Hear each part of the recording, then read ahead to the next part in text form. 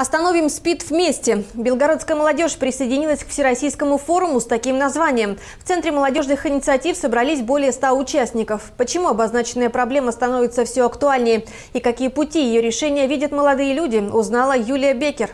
Более ста зарегистрированных участников, пять студенческих команд. Белгородская молодежь присоединилась к Всероссийскому форуму впервые. Собрание приурочили к приближающемуся Международному дню памяти умерших от СПИДа, который закреплен за третьим воскресенье мая. В этом году девиз форума – активизация борьбы за здоровье и права. В холле Центра молодежных инициатив участников ожидала небольшая викторина, где студенты могли проверить свой уровень знаний о заболевании. Я думаю, очень важно, потому что сейчас многие об этом не задумываются.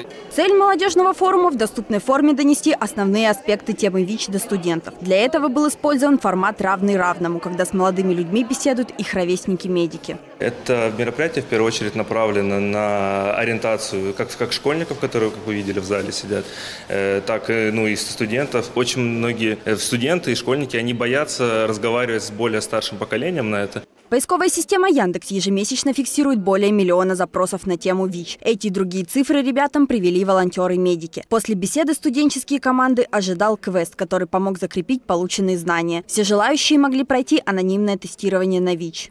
В основном болеют люди молодого трудоспособного возраста, это 20-39 лет. Наибольшая концентрация, конечно, э, регистрируется у мужчин 30-39 лет. Но, тем не менее, у нас вовлечены сюда и молодые люди. В Белгородской области, по данным на 1 мая этого года, зарегистрировано более 4000 ВИЧ-инфицированных. Причем больше половины случаев – это передача вируса половым путем. Часто ВИЧ передается и при употреблении инъекционных наркотиков. Наибольшую концентрацию зараженных наблюдают в крупных городах – Старый Оскол, Белгород, Шебекино, Губкин. С момента регистрации, а это 92 год, в регионе скончалось более 500 ВИЧ-инфицированных. Среди них 118 на поздней стадии болезни. Юлия Бекер, Александр Поддубный. К этому часу Белгород.